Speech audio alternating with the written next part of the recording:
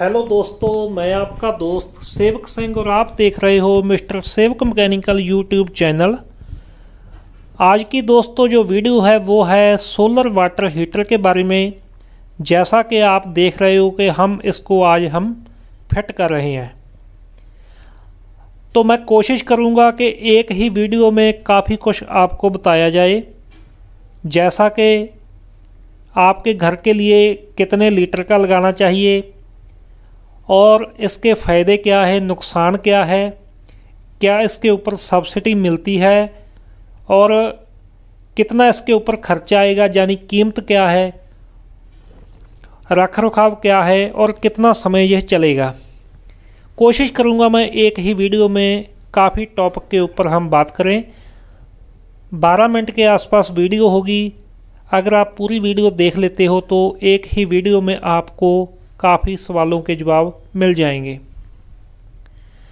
यह वाला जो वाटर हीटर है, ये दोस्तों 200 लीटर वाला वाटर हीटर है। और जितने भी ये हीटर होते हैं, जैसे कि ये 200 लीटर वाला है, इसके अंदर यह वाली जो कांच की ट्यूब है, ये 20 लगेगी। अगर 100 लीटर वाला है तो उसके अंदर 10 लगेगी। अगर 300 लीटर वाला है तो उसके अंदर तीस ट्यूब लगेगी। यह इसकी पहचान होती है। और जो इसका टैंक है, यह एक थर्मस की तरह काम करता है कि पानी गर्म होकर इसके अंदर स्टोर हो जाता है। उसके बाद है जी इसका स्ट्रक्चर जो कि लोहे का होता है। बाकी अलग अलग कंपनी का अपना अपना है। कई कंपनी यह जीआई का भी देती हैं। और यह वाला जो टैंक है, यह अंदर से S S stainless steel 304 number और जो बाहर की तरफ़ ये लगा हुआ है, ये जीआई का है। यानी कि यह वाला जो टैंक है, ये काफ़ी साल चलेगा, ख़राब नहीं होगा। और जीआई और स्टील के बीच एक इंसुलेटर लगाया जाता है, एक तरह की फोम, ताकि पानी ज़्यादा ठंडा ना हो। और जो नीचे की तरफ़ आप देख सकते हो, जो फिटिंग हम दे रहे हैं, इसके ऊपर हम ट्यूब फिट करेंगे। क्योंकि मैं पहले ही बता चुका हूँ कि ये 200 लीटर वाला है तो 20 ट्यूब इसके अंदर लगेगी। इसके लिए आपको कोई बिजली की ज़रूरत नहीं, कोई गैस की नहीं, बस सिर्फ़ सोलर की रोशनी चाहिए। बाई चांस सोलर की रोशनी नहीं भी आती तो इसके अंदर एक बिजली का भी प्रबंध किया जाता है। आप वहाँ से इसको बिजली देकर भी पानी गर्म कर सकते हो। बाई चांस किसी कारणवश धूप ना निकले तो। बाकी इस तरह से इसकी फिटिंग हो जाती है। ये देख सकते हो आप। स्ट्रक्चर ही इस हिसाब से बनाया जाता है कि इसके ऊपर ये अच्छी तरह से फिट आ जाए। कोई भी आदमी इसको फिट कर सकता है, क्योंकि इसको सिर्फ़ नट बोल्ट ही लगाने हैं। ये अच्छी तरह से टैंक फिट हो गया। दोस्तों, पहले इसके ऊपर सब्सिडी मिलती थी, लेकिन अभी नहीं मिल रही। और एक इसके अंदर यह देखें एल्युमिनियम की तरह एक रॉड होता है। यह लगाया जाता है जो पानी का हार्डनेस है, उसको ख़त्म करने के लिए। यह आप खुद ख़त्म होता चला जाता है और पानी का जो हार्डनेस है, वो भी ख़त्म कर देता है। इसकी दोस्तों लाइफ तकरीबन ज़्यादा नहीं छः महीने ही है। अगर आपका जो पानी है ज़्यादा हार्डनेस है तो आप इसको खोल कर समय समय पर चेक करते रहें। उसके बाद जैसे ही ये ख़त्म हो जाए, आप यह नया रॉड लेकर लगा दें। और जो नीचे की तरफ़ हमने एक फिटिंग दी थी इसकी, उसके ऊपर हम एक एंड कैप लगाएँगे जो कि प्लास्टिक के हैं। इसके बीच जो मैंने आपको कांच की ट्यूब दिखाई थी, वो हम लगाएँगे। यह वाला जो गीजर है, इसको ईटीसी टाइप गीजर बोलते हैं। एवाक्यूटेड ट्यूब कलेक्टर जो यह वाले ट्यूब आप देखोगे, जो इस बॉक्स में आ रहे हैं, मैं अभी आपको ये खोल कर दिखाता हूँ। यह आपको दोस्तों इस तरह से लगेंगे, जैसे कि हमारे घर में जो सोलर पैनल है, बिजली बनाने के लिए लगाए, जैसे कि पॉलीक्रिस्टलाइन उस कलर में आपको ये दिखाई देंगे। लेकिन जो हमारे घर में पीवी मॉड्यूल लगे रहते हैं, उसके ऊपर धूप पड़ने से वो हमें बिजली देते हैं और इसके ऊपर धूप पड़ने से ये हमें गर्म पानी करके देते हैं, यानी कि ये गर्मी उत्पन्न करते हैं।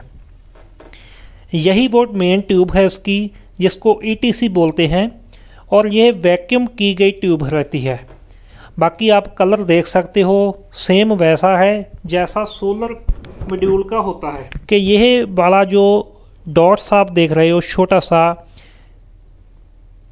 नुकीला, अगर बाई चांस जहाँ से ये टूट जाए तो आपकी ये ट्यूब पूरी बेकार हो जाएगी क्योंकि ये वैक्यूम की जाती है। और यह वाली जो ट्यूब है ये टफन ग्लास की रहती है, लेकिन इसके अंदर फिर एक कांच की ट्यूब है, दोनों एक साथ ही जोड़ी गई है।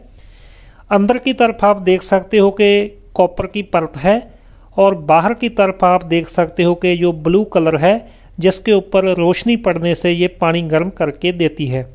इसके बाद हम दोस्तों इसको फेट करते हैं। फेट करने के लिए हमने शैम्पू लिया है, झाग बनाने के लिए, और एक यह वाले रबड़ रंग है। रबड़ रंग लगाने के बाद इसको हम शैम्पू लगाएँगे।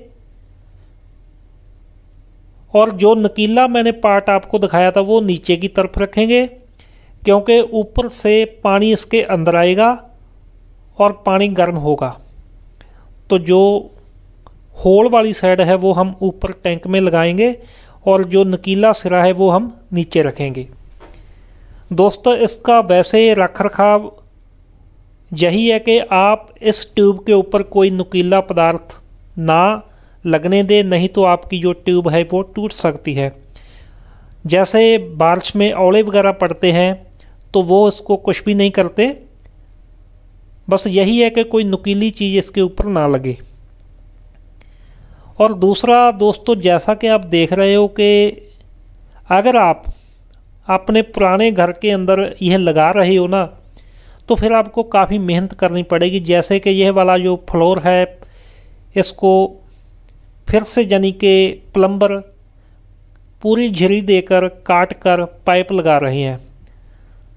क्योंकि इसकी जो फिटिंग है वो हर एक कमरे में देनी है, रसोई में, बाथरूम में या जहाँ पर वॉशिंग मशीन है, वहाँ तक लेकर जानी है तो काफ़ी मेहनत हो रही है। लेकिन इसके मुकाबले अगर हम दूसरे गीजर की बात करें, वो हम किचन में सीधा लगा लेते हैं, या बाथरूम में हम सीधा लगा लेते हैं।